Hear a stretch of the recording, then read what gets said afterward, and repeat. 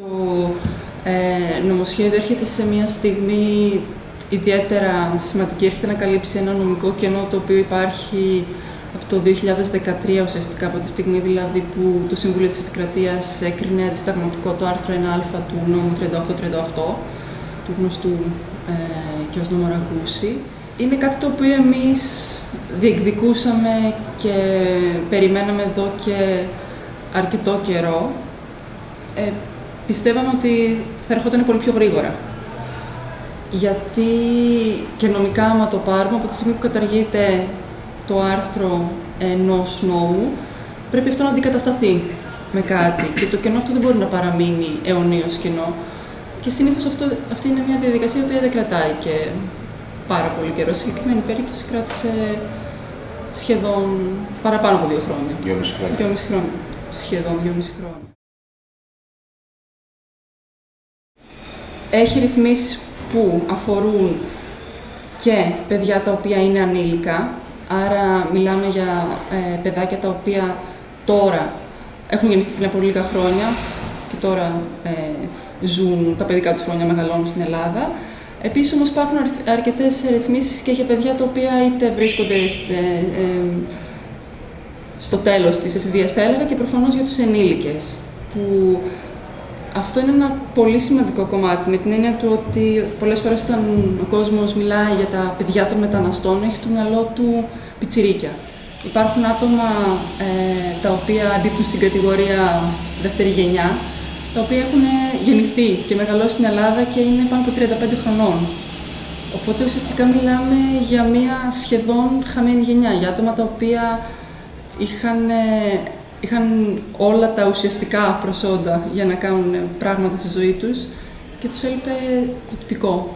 Ένα κομμάτι χαρτί, ένα κομμάτι πλαστικό για την ακρίβεια. Αυτός ο νόμος έρχεται να καλύψει αυτό το κενό και να αποδώσει επιτέλους τα δικαιώματα που δικαιωματικά ανήκουν σε όλα αυτά τα παιδιά.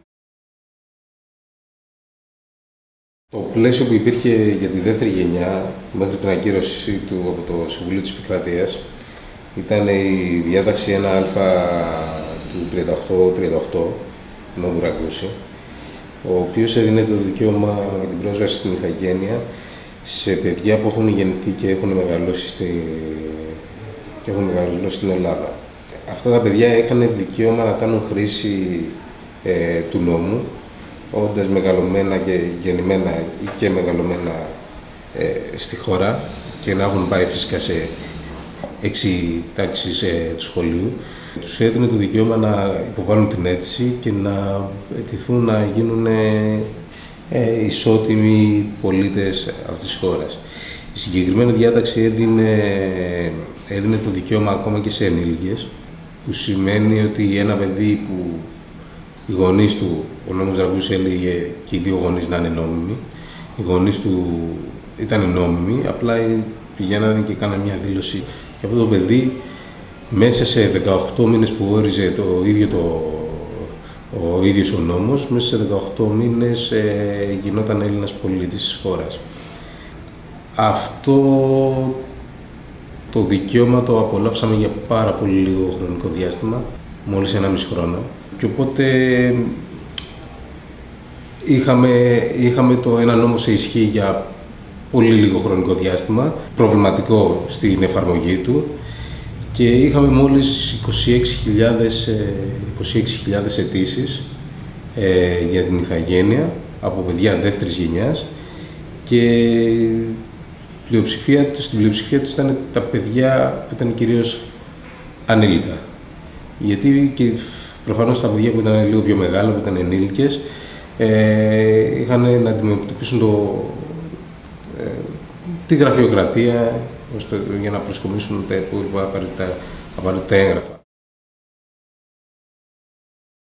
Ήταν σε εφαρμογή μέχρι να αλλάξει η κυβέρνηση ε, και μετά από μια, έτσι, μια ιδιαίτερη και έντονη ε, επιθυμία και καμπάνια του τότε αρχηγού της αντιεξωματικής αντιπολίτευσης, τότε κ. Αντώνη Σαμαρά, που είχε ως σημαία του την, ε, την καμπάνια, την αντιηθαγένεια καμπάνια, Αφού υποσχέθηκε στον ελληνικό λαό ότι μόλις αναλάβει η κυβέρνηση θα, θα ακυρώσει το, το νομοσχέδιο, ε, δεν έχασε καθόλου χρόνο, γιατί μία από τις πρώτες εντολές της κυβέρνησης του Σαμαρά μετά τις εκλογές του 2012 ήταν να ορίσει τον πρώην ε, πρόεδρο δικαστών και εισαγγελέων της Ελλάδος ε, ως Υπουργό Εσωτερικών, ε, να τον ορίσει ως Υπουργό και να του δώσει την εντολή να παγώσει τον νόμο Ραγκούση.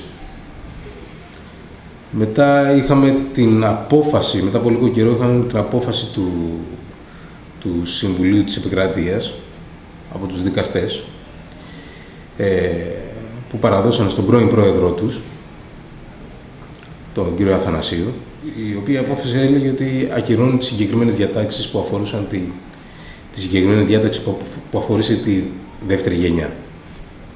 Αυτό έγινε πριν δυόμιση χρόνια ε, η εντολή παρέμεινε μέχρι και σήμερα. Ε, δεν υπάρχει καμία άλλη απόφαση ή κάποια πρωτοβουλία να ξεκολλήσουν τουλάχιστον αυτές οι αιτήσεις που βρισκόντουσαν στο, στα τελειώματα τους ξέρω, που έμεναν μόνο τα τυπικά η υπογραφή ή να βγει ένα φεκ.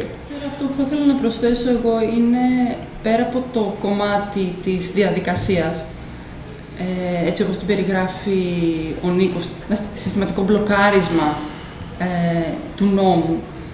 Για μένα το πιο απογοητευτικό και το πιο τραγικό, θα έλεγα, ήταν η ίδια η αιτιολογία του Συμβουλίου της Επικρατείας. Τι δηλαδή επικαλέστηκε για να ακυρώσει το, το άρθρο 1α.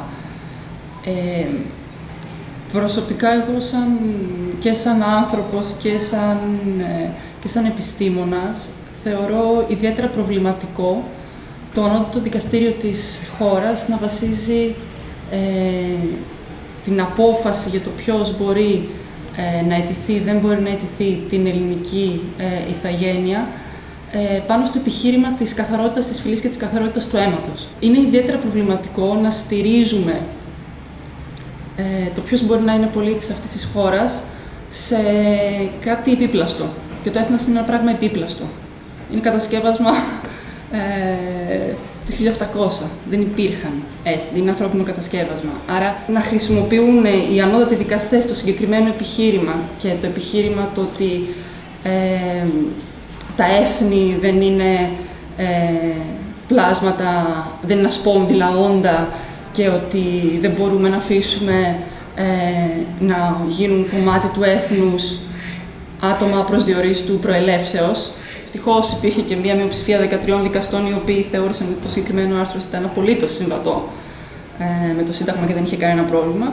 Να θεωρούν λοιπόν και να δικαιολογούν την ε, ακύρωσή του ε, με επιχειρήματα τύπου ε, τα έθνη δεν είναι ασπόνδυλα όντα ή το ότι ε, δεν μπορούμε να δεχτούμε σαν μέλη του, έ, του, του έθνους άτομα προσδιορίστου προελεύσεως ποια άτομα προσδιορίζει του προελεύσεω. Μιλάμε για παιδιά γεννημένα ή μεγαλωμένα στη χώρα. Δηλαδή, δεν ξέρω, καμιά φορά νομίζω ότι αυτό το πράγμα με ξεπερνάει προσωπικά. Και θεωρώ επίσης ότι προσβάλλει και την νοημοσύνη πάρα πολλών ανθρώπων. Για μένα η απόφαση ήταν καθαρά πολιτική να ακυρωθεί ο συγκεκριμένος νόμος. Δεν ήταν ε, ε δεν ήταν τίποτα παραπάνω και τίποτα λιγότερο. Θέλω να τον καταργήσουν και θα το καταργούσαν. Το είχαν δηλώσει από πριν. Ε, ναι, ήταν δέσμευση. Ε, δεν ήταν καθόλου τυχαίο ε, ε, η τοποθέτηση του, του πρώην Προέδρου των Δικαστών και των Εισαγγελέων στη συγκεκριμένη θέση. Εγώ έχω κάθε δικαίωμα να πιστεύω ότι ε, υπήρξε μεγάλη επιρροή ε, από πλευράς του, ε, του Υπουργού τότε. Έχω κάθε δικαίωμα να πιστεύω ότι να πιστεύω ότι, ότι μπορεί και να μην είναι τόσο τυχαία και η, το, ε, η αιτιολογία ε, του Συμβουλίου της Επικρατείας γιατί ταυτίζεται, ακρι, ταυτίζεται με την, ε, με την, με την ρητορική της Χρυσής ε, όσον αφορά για την καθαρότητα της φυλής. Και αυτό το κάνει ακόμα πιο, πιο ανησυχητικό για μένα. Δύο πράγματα. Ένα, αν ψάχνουν την προέλευση αυτών των παιδιών, ε, θα πάνε να τη βρουν στο μητέρα, στο Έλληνα, στο Αλεξάνδρα. Εκεί γεννήθηκαν όλα αυτά τα παιδιά. Δεν φύτρωσαν στα λάχανα, ούτε ήρθαν από τον ουρανό. Δηλαδή, μην τρελαθούμε κιόλας. Ε, και το άλλο το κομμάτι που επίσης ε, έχει να κάνει πολύ με αυτή την περιβόητη καθαρότητα της ελληνικής φυλής. Για ποια καθαρότητα μιλάμε στα Βαλκάνια; Δηλαδή, η, η μισή από εμάς έχουμε παππούδες πρόσφυγες. Και όχι, μόνο, ναι. και όχι μόνο όσοι φύγανε ως, ε, σαν πρόσφυγες, έτσι. Φύγανε και οι οικονομικοί μετανάστες Έλληνες ναι. στην Αμερική, στον Καναδά, στην Αυστραλία. Αυτό είναι το, δεύτερο, το δεύτερο κύμα ουσιαστικά. Δηλαδή, ε, αυτό το σύνθημα που λέει παππούδες μας πρόσφυγες, οι γονείς μας μετανάστες και εμείς ρατσιστές, νομίζω είναι, τα, τα συνοψίζει όλα. Γιατί αυτό, έχουμε ξεχάσει από το που προερχόμαστε, τι πέρασαν οι γονείς μας και οι παππούδες μας. Ε, έχουμε βάλει, έχουμε φάει την καραμέλα μιας επίπλαστης καθαρότητας ε, και πραγματικά δεν έχουμε ιδέα τι μας γίνεται. Στο πλαίσιο μιας συνάντησης ναι. με το, του, του φόρουμ mm. μεταναστών με ευρωβουλευτές και ξένους δημοσιογράφους τέλος πάντων. Ναι, και, και, και επίσης ε, εκπροσώπους και οργανώσεων. Και εκπροσώπους και οργανώσεων. Ναι. Είχε γίνει αυτή η εκδήλωση στο, στο, στα γραφεία της Ευρωπαϊκής Ένωσης ε, και ήταν και προ, προφανώς προσκεκλημένος ο κύριος Αθανασίου που ήταν τότε υπουργός Εσωτερικών. Ο νόμος τότε ε, Ραγκούση ήταν, ε, ήταν ακόμα σε ισχύ. Ε, είχε γίνει ήδη προσφυγή στα, στο Συμβούλιο της Επικρατείας και άτυπα ο, ο κύριος Αθανασίου είχε, ε, είχε παγώσει ε, ουσιαστικά δεν μπορούσαν τα παιδιά να καταθέσουν στους Δήμους. Πριν όμως βγει, πριν καθαρογραφτεί η απόφαση. Η απόφαση. Μια... Του, είχε διαρρεύσει στον τύπο ότι το Συμβούλιο της Επικρατείας θα βγάλει αρνητική απόφαση το 38-38, αλλά ουσιαστικά μέχρι να έβγαινε η απόφαση καθαρογραμμένη, ο νόμος ίσχυε κανονικά. Και παράτυπα ε, ε, τότε ο κύριος Αθανασίου ε, με, εντολή... με εντολή δική του. Και Σαμαρά. Ναι. Και όλοι οι Δήμοι σταμάτησαν να δέχονταν τις αιτήσεις. Με εξαίρεση έξι, δημά... έξι δημάρχους, ε, οι οποίοι συνέχισαν να δέχονται τις αιτήσεις. Το θέμα ήταν αυτοί οι έξι δήμαρχοι, ok, okay, δεχόντουσαν τις αιτήσεις, αλλά μετά δεν τις δεχόντουσαν οι περιφέρειες οι, οι οποίες και οι αρμόδιες υπηρεσίες οι οποίες έπρεπε να τις αξιολογήσουν. Οπότε πάλι. Που υπήρχε και ένσταση από τις ε, υπηρεσίες ε, που δεχόντουσαν τις αιτήσεις, γιατί ε, πολύ απλά προφανώς περιμένουν μια υπουργική απόφαση ή ξέρω εγώ ένα προεδρικό διάταγμα την απόφαση του Συμβουλίου της Επικρατείας που να το επικυρώνει αυτό. Mm. Α, πράγμα το οποίο δεν είχε βγει και βγήκε ας πούμε 1,5 χρόνο μετά. Και τέλος πάντων, στα πλαίσια αυτής mm. τη εκδήλωσης, κάνοντας του εμείς, σαν Generation ερώτηση και πιο συγκεκριμένα εσύ, ε, ε, Νίκο, ε, εμένα μου έδινε την, την εντύπωση ότι δεν είχε διαβάσει τον νόμο Ραγκούση ποτέ. Ναι, δεν είχε διαβάσει έναν νόμο για τον οποίο έδωσε εντολή να σταματήσει η εφαρμογή του. Ε, έλεγε εντάξει, αφού ε, δεν μπορείτε. Ε, Όταν... Ποιο είναι το πρόβλημα που θα καταργηθεί ο γνώμος, ε, πάτε με την πολιτογράφηση. Υπάρχει διαδικασία της πολιτογράφησης αφού είστε ενήλικες και μπορείτε να πάτε κανονικά με τη διαδικασία της πολιτογράφησης. Ποιο είναι το πρόβλημά σας; Και εμείς αυτό που του. Και, και έτσι κι αλλιώς με τον νόμο Ραγκούση δεν πήγαν και πολλά παιδιά να καταθέσουν. Κατέθεσαν, γίνανε μονάχα τόσες λίγες αιτήσεις. Mm. Άρα ο νόμος δεν ήταν καλός. Και αυτό που του λέγαμε εμείς ότι τα παιδιά δεν πήγαν να καταθέσουν, γιατί δεν είχαν άδεια διαμονής σε ισχύ. Το πρόβλημα ήταν με τις άδειες διαμονής. Γιατί η προπόθεση για να καταθέσεις όντας ενήλικος ήταν, ήταν η άδεια διαμονής σε ισχύ. Τότε οι άδειες διαμονής ήταν αιτήσεις ή δίχρονε. Δεν μπορούσες να πάρεις πιο μακροχρόνια άδεια. Το πρόβλημα ήταν ότι σχεδόν όλοι τις παίρνανε λιγμένες. Άρα με μια λιγμένη άδεια δεν, δεν έχεις δικαίωμα να καταθέσεις. Αυτό το πράγμα δυνατούσε να το καταλάβει. Ε, οπότε. Οπότε, βλέποντας ο κ. Αναθανασίου έναν νέο άνθρωπο δεύτερης γενιάς ε, μπροστά του, ε, να του λέει για το πρόβλημα που είναι, που είναι αρμόδιος υπουργός, ε, το πρόβλημα που είναι στο Υπουργείο του και αυτός είναι ο αρμόδιος υπουργός γι' αυτό, ε, του, έκανα, του, του έκανα την εξής παρατηρήση ότι υπάρχουν, υπάρχουν άδειες που βγαίνουν λιγμένες και υπάρχουν παιδιά που, ε, που δεν έχουν ποτέ άδειε σε ισχύ. Αυτόματα ο, ο καλοπροαίρετος υπουργός ε, εσωτερικών, τότε ο κ. Αθανασίου, θεώρησε ότι όποιο παιδί ε, είναι δεύτερης γενιάς και δεν έχει άδεια διαμονής ισχύ, είναι και λαθρομετανάστη. Και οπότε με αποκάλεσε λαθρομετανάστη. Ε, γιατί αυτό καταλάβαινε εκείνη τη στιγμή. Ε, εντάξει. Ναι, για τα κατά συγκεκριμένα, ε, άμα δεν έχεις ε, άδεια διαμονής, τότε άμα δεν έχει άδεια διαμονής, τότε είναι λαθρομετανάστη. Είναι λαθρομετανάστη. Και έγινε ένα χαμό στην αίθουσα. δηλαδή, γιατί σηκώθηκε, ποιος σηκώθηκε; Ε, Σηκωθήκαμε πάρα πολύ. Πάρα πολύ. Και, και η, Ατάκα έχει γεννηθεί στη χώρα. Ναι, ναι. Τι λέτε; Και τόση ώρα σας μιλάει και νομίζω ναι. ότι μιλάτε τα ίδια ελληνικά και δεν μιλάει ούτε λιγότερο ούτε περισσότερα ελληνικά από ό,τι μιλάτε εσείς. Απλά ε, αυτό ήταν ένα δείγμα για το τι θα ζούσαμε από εκεί και πέρα. Πολύ συγκεκριμένα ο κύριος, ε, κύριος Σαμαράς θα τηρήσει την υπόσχεσή του προς τον ελληνικό λαό ε, ότι θα απαλλάξει τον ελληνικό λαό από τη δεύτερη γενιά δίνοντάς τους την ηθαγένεια. Και όλοι οι Έλληνες, οι Έλληνες πολίτες θα ζήσουν ένα Εμείς καλά και αυτή καλύτερα, καλή, αυτή χειρότερα. Θα ζήσουν μια καλύτερη ζωή από εκεί και πέρα. Μπορεί να καταλάβει οποιοδήποτε ότι εγώ είχα μπροστά μου έναν, έναν, έναν υπουργό που μου φορτώθηκε σε εισαγωγικά, χωρίς να έχω κανένα δικαίωμα να τον ψηφίσω ή τουλάχιστον έστω να ψήφιζα κάποιον άλλον. Και αυτός ο άνθρωπος είχε λόγο για τη ζωή μου. Είχε, ε, αποφάσιζε για μένα. Αποφάσιζε για μένα. Γιατί προφανώς ε, ο κύριος Αθανασίου δεν έβλεπε μπροστά του έναν πολίτη της χώρας. Έτσι.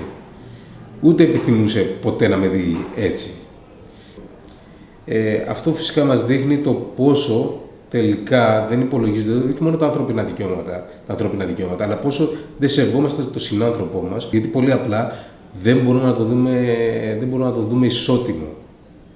Οπότε μπορούμε να εκφραζόμαστε όπως θέλουμε, όπως εκφραζόταν και εκφράζεται ακόμα το συγκεκριμένο το κόμμα της Νέας Δημοκρατίας και άλλα κόμματα φυσικά που υιοθετούν αυτόν τον όρο του λαθρομετανάστη, γιατί χρησιμοποιώντας αυτόν τον όρο σημαίνει ότι δεν σέβεσαι τίποτα, δεν σέβεσαι κανέναν άνθρωπο, καμία ανθρώπινη, καμία ανθρώπινη ύπαρξη, γιατί πολύ απλά τους θεωρείς εισβολή, τους θεωρείς ε, μοιάσματα. Κάποιοι, κάποιοι λένε.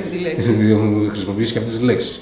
Κάποιοι λένε μοιάσματα, μας λένε μοιάσματα. Και όλο αυτό δείχνει, δείχνει ποια είναι η, η, η διάθεση ε, που υπάρχει από κάποιους αρχηγούς κομμάτων, βουλευτές, τέλος πάντων άνθρωποι οι οποίοι ορίζουν τη ζωή όλων μας.